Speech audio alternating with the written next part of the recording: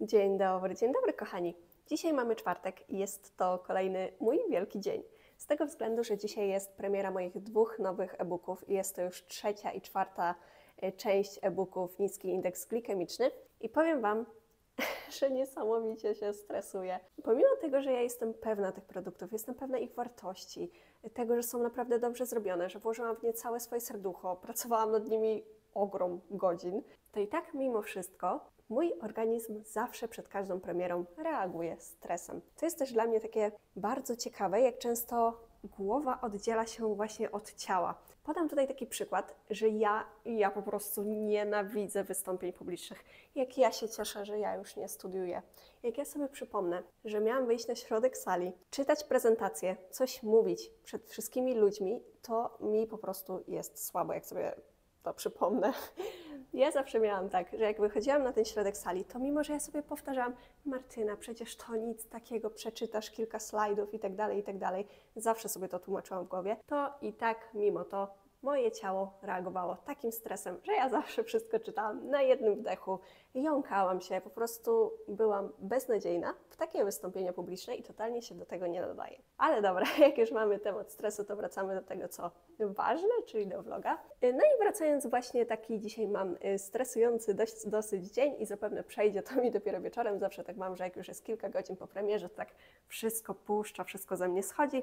Ale też stwierdziłam, że sobie dzisiaj nagram vloga, bo też to na pewno po pozwoli mi odstresować się. Ostatnio nawet wrzucałam y, na story, że takie mówienie do kamery bardzo dobrze robi mi na głowę. A jakbyście się zastanawiali, to tutaj jest przygotowany mój statyw. Jak coś jest głupie, ale działa, to to wcale nie jest głupie. A z okazji premiery nowych e-booków stwierdziłam, że śniadanie zrobię właśnie z nich. I dzisiaj mam mega ochotę na buratę na pomidorach z grzankami. I tak się zastanawiam, czy ten pomidor był myty. Hmm, nie wiem, może umyję lepiej. Wracając, y, to mam właśnie mega ochotę na buratę, na pomidorach.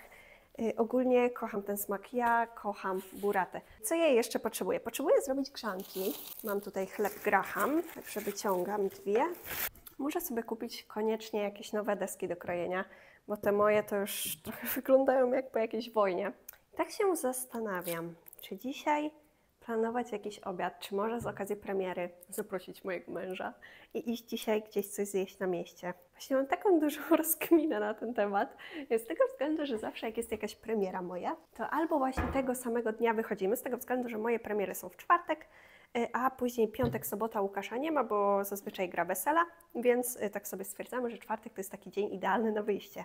No nie wiem, muszę podjąć decyzję, żeby wiedzieć, czy iść do sklepu i kupić coś na obiad. Wysłałabym męża, ale niestety ma kontuzję nogi i ledwo chodzi biedny.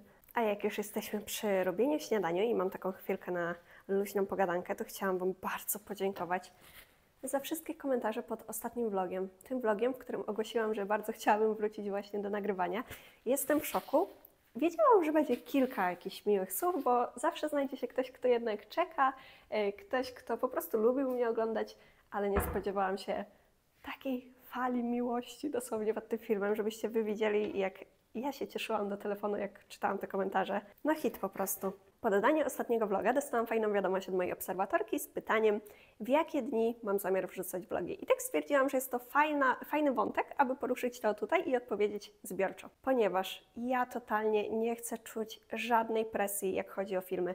Ja wiem, że na mnie bardzo źle działa coś takiego jak ja, no ja muszę teraz nagrywać film, muszę dodać vloga, obiecałam, środa 18 będzie na kanale, nie mam co nagrywać, moje życie jest nudne, nic się nie dzieje, co ja mam teraz zrobić? Na mnie to działa jak płachta na byka. Zamiast mnie motywować i sprawiać, że chcę nagrywać te vlogi, że chcę nagrywać filmy, to działa to całkiem odwrotnie. Bo ja mam taką presję, bo ja muszę, bo ja na przykład nie mam co akurat nagrać i wolałabym w tym tygodniu nic nie dodawać albo coś w tym stylu.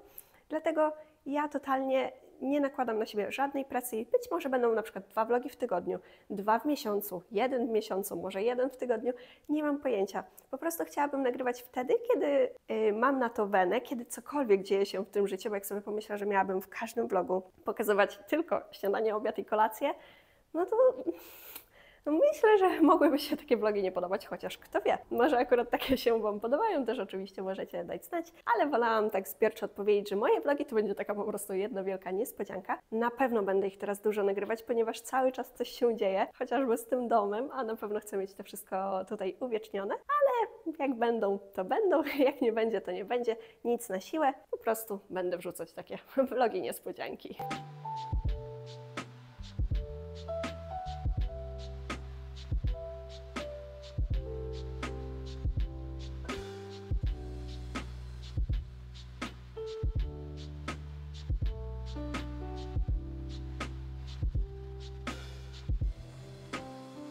Aha, nie no, genialny kadr.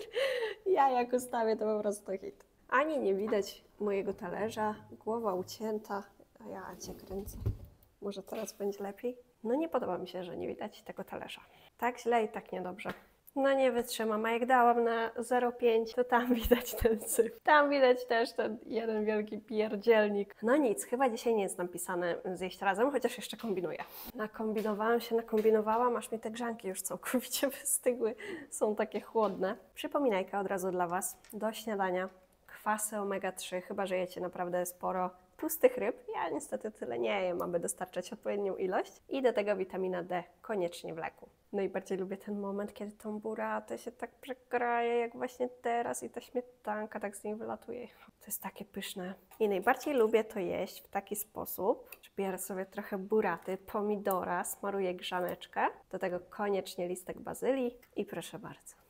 To jest takie pyszne. Oh my god, jakie dobre. Tylko pamiętajcie, aby to jeść z ciepłą grzanką, wtedy jest jeszcze smaczniejsze.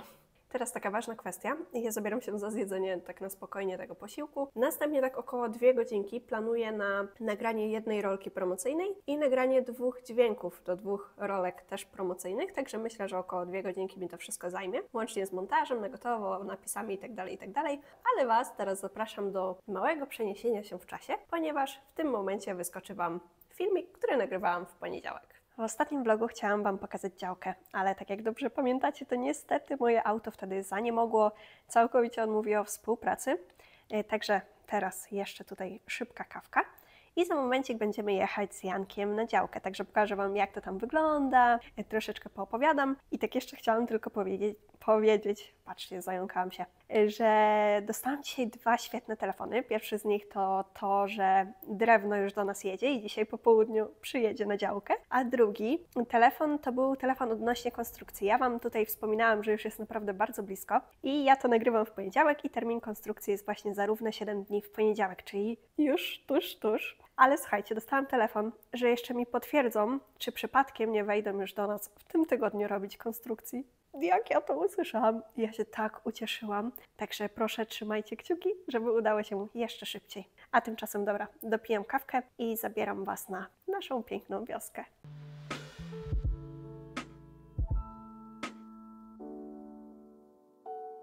Słuchajcie, akurat dzisiaj, kiedy przyjechaliśmy tutaj, żebym sobie ponagrywała spokojnie, to robią drogę i jest tyle ludzi. Ja się troszeczkę wstydzę. Ale spokojnie, coś nie coś Wam jeszcze tutaj pokażę. I tak to się właśnie wszystko prezentuje. Mamy fundament i teraz Wam powiem, że troszeczkę żałuję, że nie zaczęłam nagrywać w lipcu, tak jak miałam tą wielką ochotę, bo byśmy już nagrywali wszystko od początku. Fundament mieliśmy robiony chyba 26 sierpnia. Zobaczcie, mamy połowę października i zaczynamy teraz najlepszą zabawę. Pokażę Wam moje ulubione miejsce, które będzie w tym domu. O, kto to przyszedł?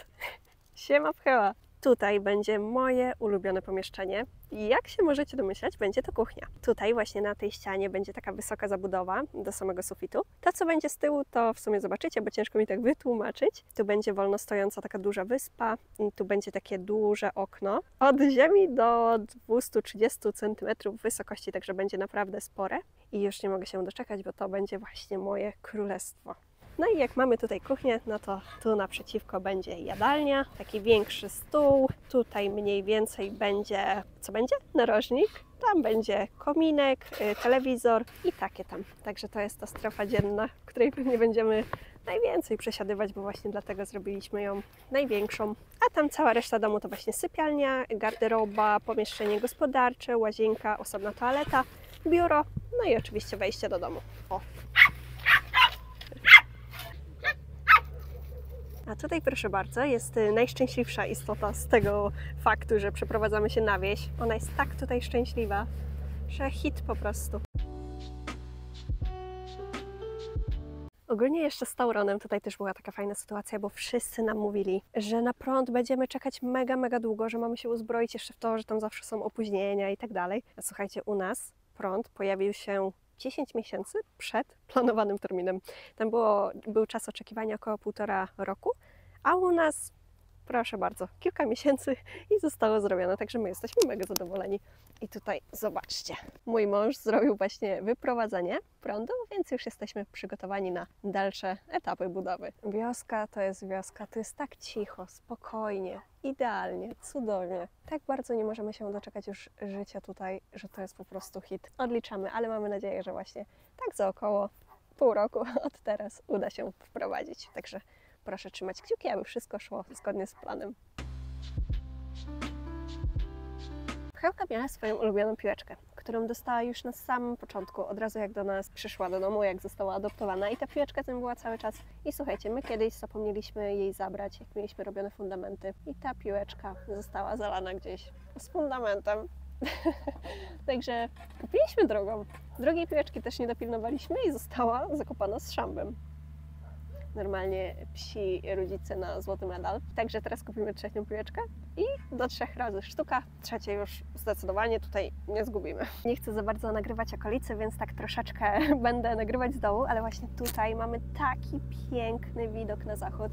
Jeśli mi się uda, to gdzieś tutaj wstawię taką rolkę, którą nagrywałam latem.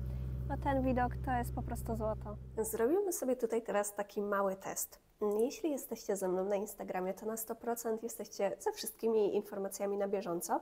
Natomiast jeśli oglądacie tylko vlogi, do których oczywiście dopiero wróciłam, to tak pokrótce Wam opowiem.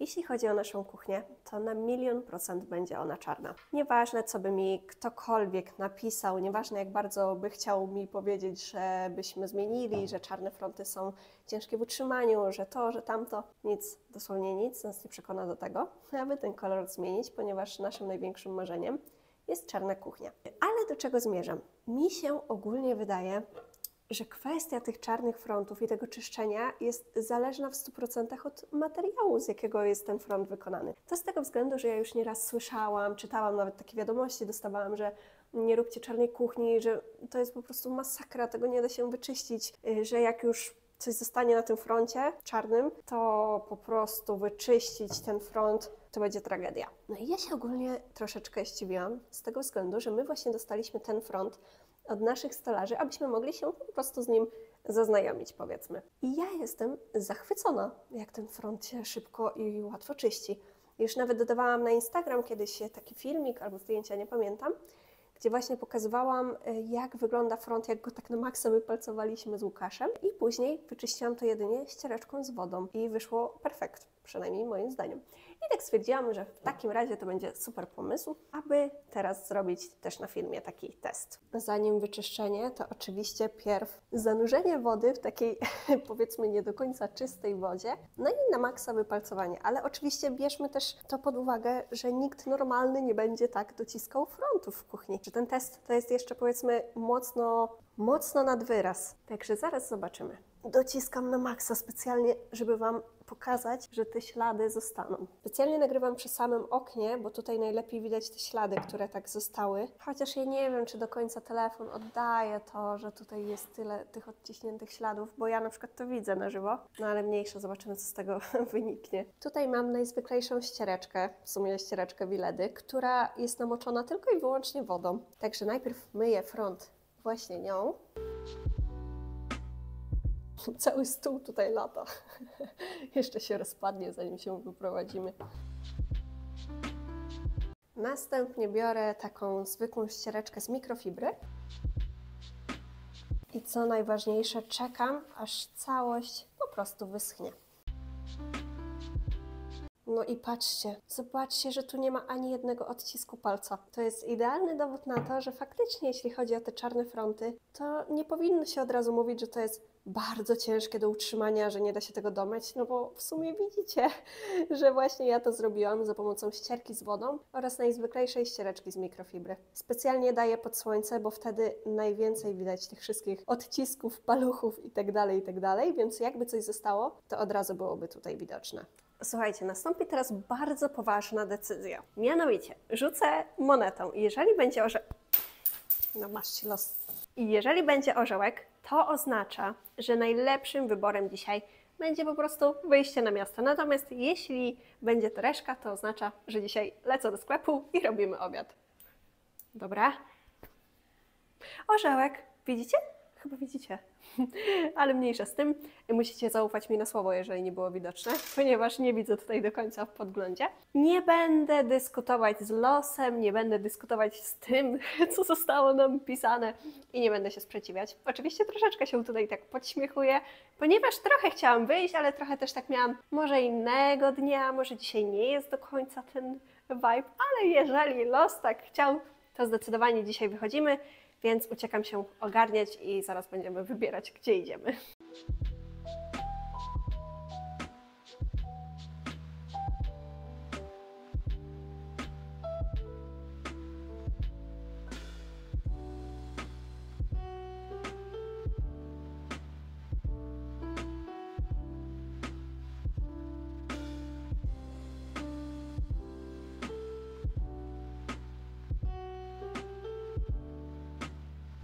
Tak na sam koniec tego vloga, jeszcze taka polecajka serialowa. Jeśli chodzi o mnie, to ja nigdy nie oglądam żadnych horrorów, ani to seriali, ani to filmów. Z tego względu, że jeśli ja obejrzę cokolwiek z tego gatunku, to później boję się zostać sama na noc, na weekend. Także nie oglądam, nie ma co kusić losu, po co mam później źle spać albo cokolwiek w tym stylu. Jednak jeśli chodzi o ten serial stamtąd, to on jest tak wciągający, tak fajny, tak dobry, że naprawdę bardzo mocno go polecam. I nawet ja, która nie lubi horrorów, nie ogląda tego, to na ten y, serial czekamy razem z Łukaszem co tydzień, bo co tydzień w czwartek pojawia się nowy odcinek na HBO, także odliczamy do, po prostu do każdego czwartku, bo jest naszym zdaniem świetny. I jeszcze może tak tylko dopowiem na sam koniec, że jeśli będziecie mieli jakiekolwiek pytania odnośnie domu, to śmiało walcie w komentarzach. Ja odpisuję i odpowiadam na wszystko odnośnie domu, czytam odnośnie działki, budowy i tak z tego względu, że jak my chcieliśmy zacząć budować dom, dla mnie to wszystko było czarna magia. A jak jeszcze ludzie robili takie, taki temat tabu z tego wszystkiego, to człowiek w ogóle nie wiedział już totalnie czego się spodziewać.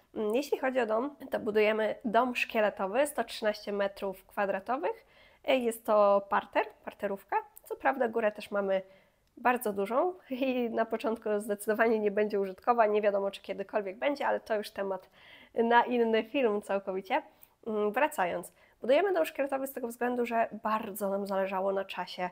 My chcemy szybko wybudować dom, wprowadzić się. Jest to dla nas opcja po prostu idealna. I jeszcze co najważniejsze, mieliśmy, mamy w sumie osoby, które mieszkają już w takich domach, także mogliśmy podpytać o ten dom, jak to wygląda, mm, jak im się żyje, czy, czy drugi raz też by budowali taki dom. No i to też nas od razu przekonało, bo jak my dostaliśmy już takie fajne argumenty, odpowiedzi na wszystkie pytania odnośnie domu szkieletowego, czyli domu z drewna, to już byliśmy od razu pewni, że na milion procent budujemy dom szkieletowy.